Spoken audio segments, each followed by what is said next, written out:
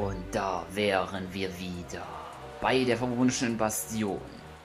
Und sie bedeutet der Ort, an dem sich Ganon aufhält. Oder besser gesagt, unterhalb des Meeres. In Hyrule.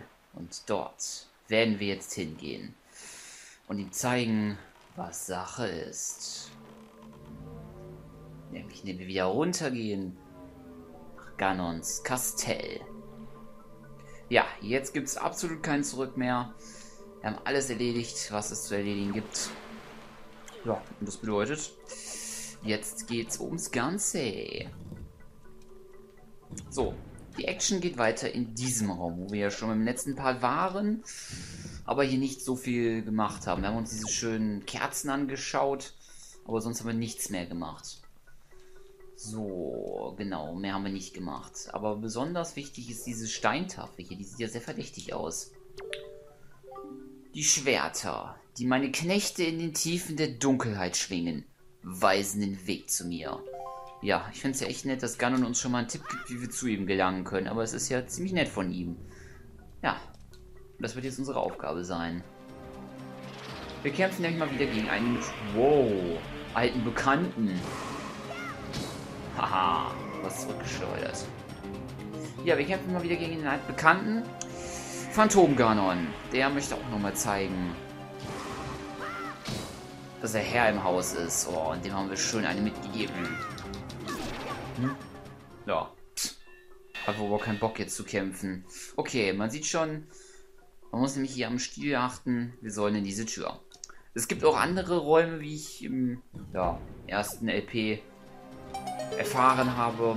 Aber das ist nur noch wichtig, zum Beispiel, wenn man ähm, jetzt beispielsweise noch irgendwelche Gegner äh, nochmal fotografieren möchte, die man vielleicht doch vergessen hat, aber die gibt es ja unendlich eigentlich und deshalb ist das nicht so wild. Was aber lächerlich, da kannst du schon noch ein bisschen was Besseres einfallen lassen. Okay, wo ist der nächste? Da. Ja, das altbekannte Tennisspiel, das kennen wir jetzt auch schon zu Genüge. Gut, wenn ich mich so recht entsinne, könnte man es auch schaffen, mit einer leeren Flasche zurückzuschleudern. Aber... Aber ich habe keine leere Flasche, deshalb können wir das leider nicht ausprobieren. Aber ich denke mal, ob wir das mit einer leeren Flasche machen oder mit einem Schwert. Und wir dürfen immer nur in die Tür rein. Oder geradeaus die Tür. Ist nicht so wichtig. Wow kommen schon mehrere. Ah, fast. Naja. Auch die Attacke schon wieder das rote, die rote Aura. Nur mit einer schönen Sprungattacke zurückschleudern. Ach, schade, hat er überlebt. Oder hat ihn nicht betäubt. Och. Kannst du nicht was Besseres einfallen lassen? Ja, das war jetzt... Da war das, hat das Timing nicht gestimmt. Ah, jetzt macht er es wieder mit den blauen. Wieder Tennis spielen.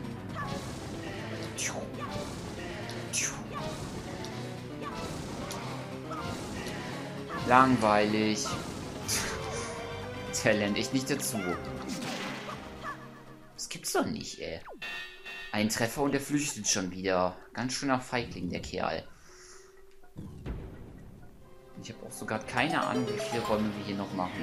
Die Attacke schon wieder. So, jetzt war das Timing besser, aber das waren leider nicht viele. Können wir eigentlich was mit unserem Boomerang ausrichten? Nö, gar nichts. Auch nicht. Aber jetzt entschließt er sich wieder für Tennis spielen. Ach, weißt du was, Phantom Ganon? Kannst dir auch was Besseres einfallen lassen. Kannst dir echt auch was Besseres einfallen lassen. Aber gut, diese Technik macht er ja so ziemlich in jedem Zelda. Also weder also Phantom Ganon noch der richtige Ganon. Jetzt dachte ich schon, das Timing hätte nicht gestimmt. Oh, ne? Wir können ihn nur noch dazu verletzen, indem wir das Tennisspielchen schaffen. Merke ich bringt nichts, bringt nichts mehr. Ah, doch! Doch, jetzt auf einmal doch wieder. Ich glaube, es kommt davon, wie viel man von den Dingern trifft. Was soll's. Next Room. Das nimmt kein Ende mehr. mir erscheint. Und er ist schon wieder unser Freund, wird das gedacht.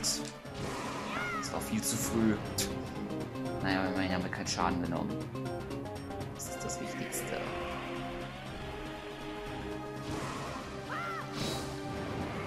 Ja, das waren viele gut.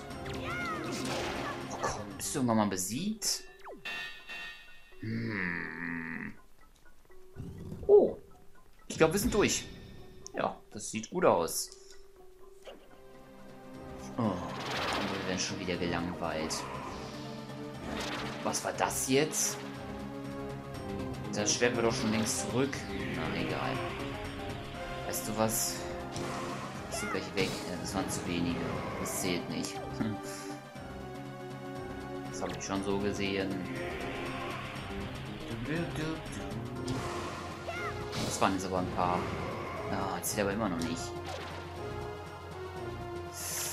Oh, wow. So, jetzt bist du weg. Nö, anscheinend nicht. Dann nicht. Oh, es erscheint eine Truhe. Was mag das sein? Es ist das letzte Dungeon-Item. Und das ist... Die Lichtpfeile. Du kannst durch Drücken von ZR zu ihnen umschalten. Die Kraft des Heiligen Lichtes ist nun mit dir. Und es ist doch perfekt. So, jetzt haben wir die Power, so ziemlich jeden zu killen. Ha, jetzt kann uns keiner mehr was mit den Lichtpfeilen. Oh, wir kommen wieder am Anfang raus. Hm. Oh, wir werden direkt schon wieder von ihm gelangweilt, aber weißt du was? Jetzt gleich echt mal eine rein, aber erstmal. Ja, wollte ich sagen, konnte ich das, aber. Ja, komm. Nichts mehr kontern hier. Tschüss.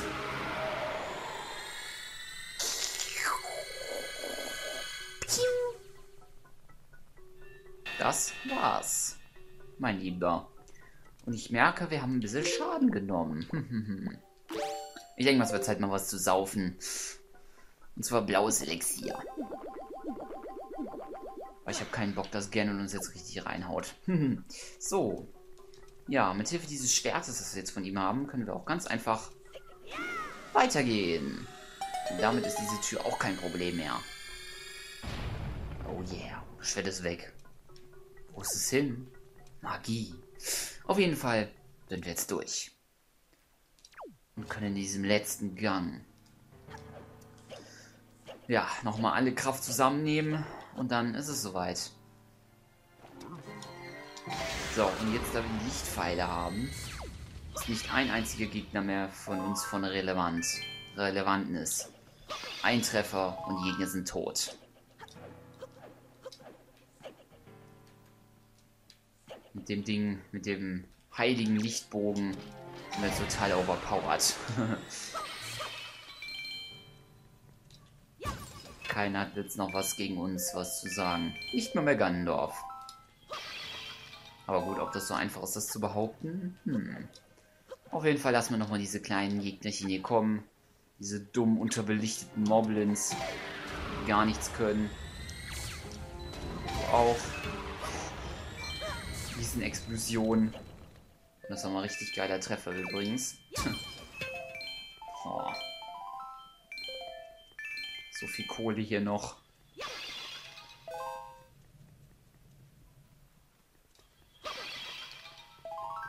So, der letzte Treppengang. Und dann wartet er. Och, wie süß. Äh, nein, nicht den Hammerlink. Das hier. Und Nummer zwei. Haha. Keiner hat mehr eine Chance. Und die Tür wieder auf. Was wartet da? Wir wissen es nicht. Wir wissen nur, es wird brutal. Oh, nochmal eine Fee. Das ist gut. Die werde ich mir aber nicht mehr reinnehmen. Eine Fee reicht. Aber nur, dass ich nochmal voll aufgeheilt bin. Das ist nicht schlecht. Wenn ich ehrlich bin, hätte ich auch nicht mal mein blaues Elixier verschwenden müssen. Ach, egal. Das schaffen wir auch so.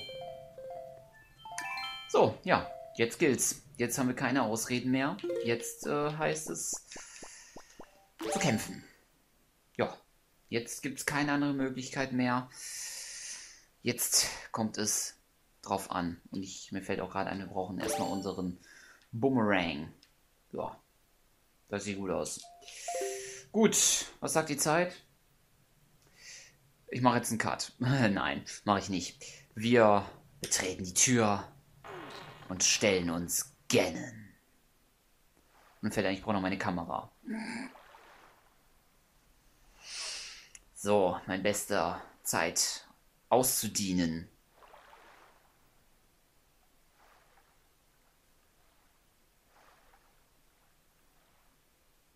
Eine Riesenhalle. Da ist sie. Zelda. Oder auch Tetra, wie man es gerade nimmt. Sie schläft. Hat er sie in Trance gezaubert?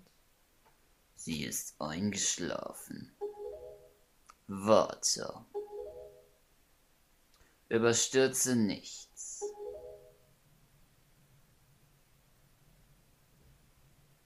Ich kann ihre Träume sehen. Mehr, mehr, mehr und noch mehr mehr. Nichts als mehr, soweit das Auge reicht. Ein Meer, in dem es nicht einmal genug Fische gibt, um einen zufriedenstellenden Fang einzuholen und an dessen Trostlosigkeit sich nichts ändert, egal wie weit man auch schwimmt. Was waren noch gleich wieder die Worte des Königs von Hyrule? Die Götter haben Hyrule versiegelt und verbannt. Und sie haben ein Volk hinterlassen, auf das es Hyrule eines Tages wieder auferleben lasse. Dass ich nicht lache. Eine Handvoll Inseln im Meer und ein paar Menschen, die nicht besser sind als das weggewordene und zu Boden gefallene Laub eines stammen Baumes. Was können sie schon vollbringen? Versteht ihr es denn immer noch nicht, ihr kleinen Narren? Die Götter haben euch verraten. Sonst hat er mehr gesagt. Ich habe auf dich gewartet. Auf dich der du mich als würdig erweist, vor mich zu treten. Nur dafür bist du überhaupt zum Helden geworden. Ich weiß, dass du das lustig findest, aber und jetzt tu mir den Gefallen und enttäusche mich nicht. Wir werden schon noch sehen, wer hier zuletzt lacht, mein Freund. Äh, was machst du da? Geht's dir gut?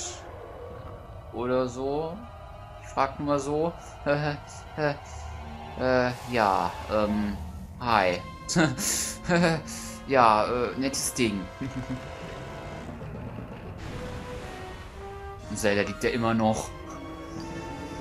Ja, ähm, darf ich vorstellen, das ist Kurganon. Ganon oder besser gesagt Kurganon. Ja, Ganons übelste Form. So, wir brauchen unsere Kamera, weil wir noch ein Foto haben wollen. Das ist in dieser Form noch am leichtesten zu bekommen. Perfekt. So. Jetzt ist es unsere Aufgabe, die ganzen Seile wegzuhauen. Oh, und eins ist schon ab. Das ist cool. Ah, ne, sind drei, okay. Denn nur so kommen wir an die blaue Kugel ran, denn die stellt seinen Schwachpunkt dar. außerdem verhindern wir, dass er angreifen kann. Natürlich will er verhindern, dass wir zu dieser Kugel kommen. Oh. Okay, jetzt kann er nicht mehr angreifen. Jetzt hängt er nur noch so da, ist traurig. Doch. Ich glaube, eine Kugel, ein Angriff dieser Kugel braucht drei. Das muss ich aufpassen. Er kann sich natürlich auch wieder regenerieren. Autsch. Doch abgebildet, Drecksfledermäuse.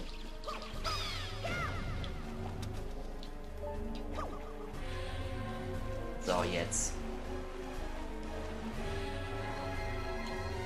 Bam! Schön mit der Dichte mit Nichtfall drauf. Aber natürlich war es das noch nicht. Das wäre ja auch viel zu einfach gewesen.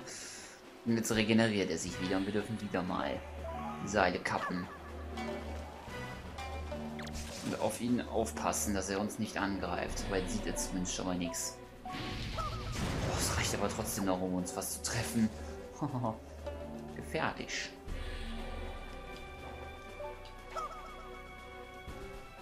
Komm, Boomerang, du schaffst es. Jawohl. Bam. Du kannst doch nichts. Wie ich sagte. Okay. Noch ein drittes Mal. Gib doch einfach auf. Das wäre die einfachste Möglichkeit. Aber nein, er hat natürlich keinen Bock dazu. Warum wollte er das? Wäre ja viel zu einfach. Und das war ganz schön knapp, dass ich jetzt nicht getroffen wurde. okay, alles wieder ab.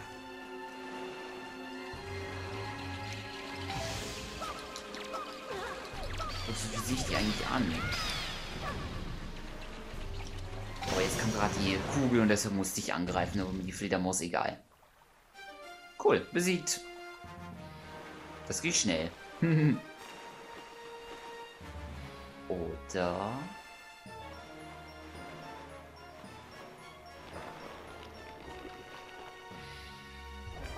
Äh, nein, ist doch noch nicht tot.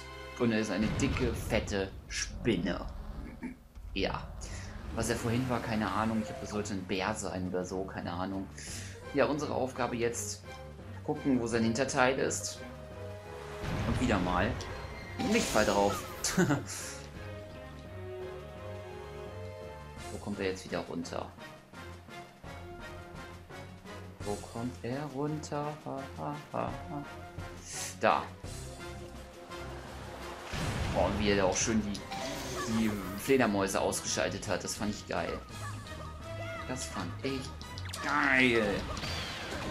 Nervt doch nur, ihr blöden Drecksfledermäuse. Die kann, kannst du dir auch sparen. Okay, da. Oh, das war knapp. Und tschüss. Vielleicht sogar schon seine leichteste Form. Ja, und jetzt kommen wir zur schwersten Form. Der Wurm. Ja, er rast jetzt hier mit einer wahnsinnigen Geschwindigkeit durch die Arena. Unsere Aufgabe ist es natürlich wieder sein Hinterteil zu erwischen. Und ich glaube, ich sollte lieber die Position halten. Und einfach nur perfekt zielen. Na, Mist. Yes, Treffer Nummer 1. Das gilt natürlich auch wieder, das dreimal zu machen und ihr habt richtig geraten, er wird mit jedem Mal schneller. Boah, er kommt. Er kommt, er kommt, er kommt. Und ihr seht auch schon, da kommen solche Dinger runter, die geben uns neue magische Energie und Pfeile, wenn wir da... Boah. Autsch.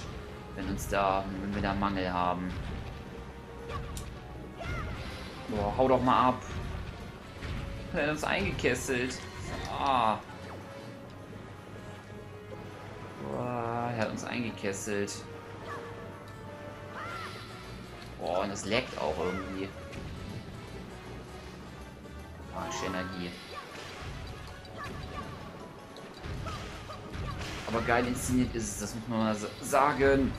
Boah, jetzt wird er mir ein bisschen brutal. Oh, geh doch mal woanders hin. Ich brauche auch meinen Freiraum. Ah, Mist. Fast. Jetzt. Nächster Treffer. Okay, einmal noch. Fast.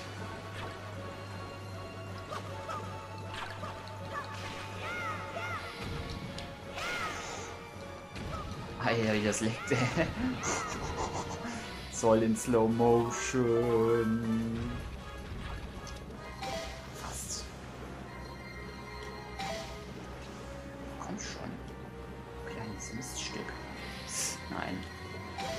Schon Stil, das muss man ihm lassen. Wo ist er? Ja, kommt man natürlich von hinten angerauscht. Lass mich nochmal wieder in Ruhe.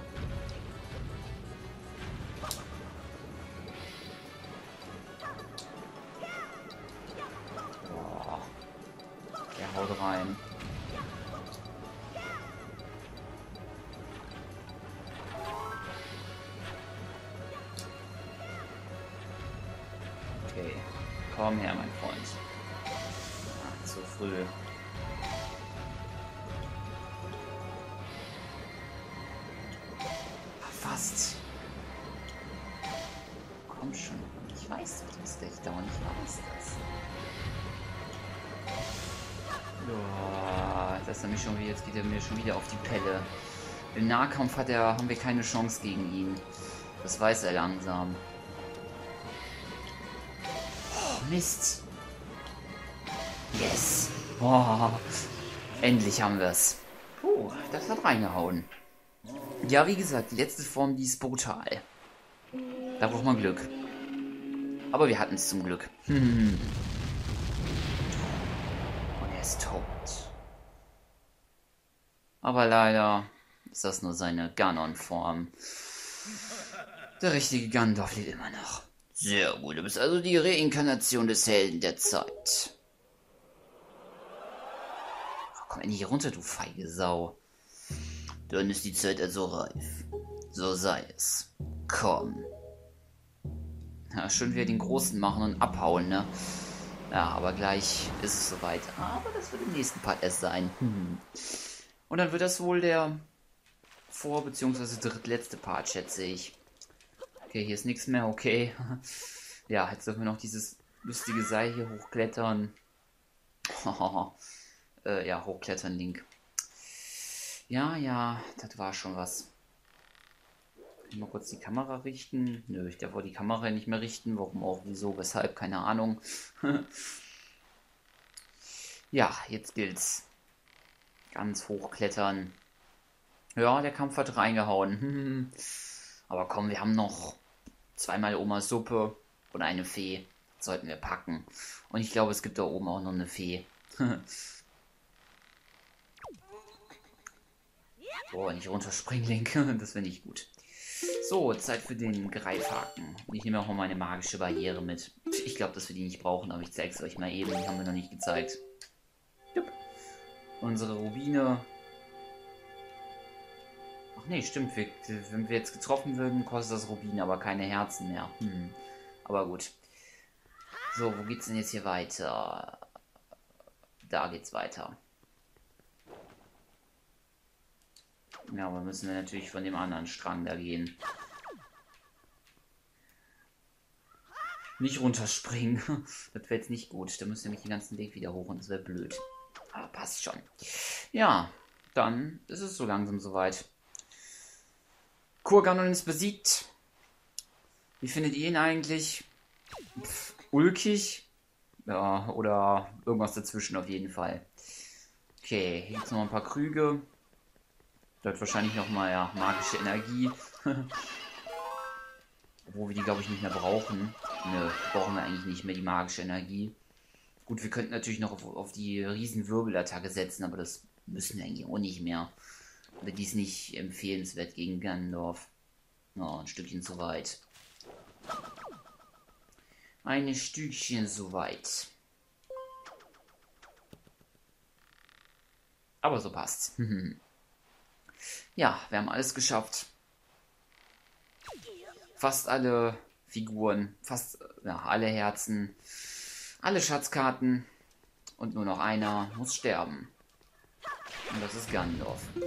So, holen wir uns nochmal zum Schluss eine Bombe raus. Damit wir noch diesen Teleporterkrug freisprengen. Der bringt uns natürlich wieder bis ganz nach unten, aber das müssen wir eigentlich nicht mehr tun. Ja. So, kümmern wir uns nochmal, was hier alles noch ist. Scheint aber, dass es keine Fee hier mehr gibt. Ah doch, hier ist nochmal eine Fee. Gut. gut, gut, gut. Bing, bing, bing, bing. Ja, nicht voll geheilt, aber komm schon. Das werden wir schon schaukeln hier, das Ding. Gut, dann würde ich mal sagen, ich hoffe, dieser Part hat euch gefallen. Im nächsten Part geht die Action los. Dann darf Ganon zeigen, was in ihm steckt. Gut, wenn euch Part gefallen hat, Daumen hoch und wieder einschalten beim Finale von The Legend of Zelda, The Wind Waker HD. Ja, bis dann und tschüss. Oh yeah.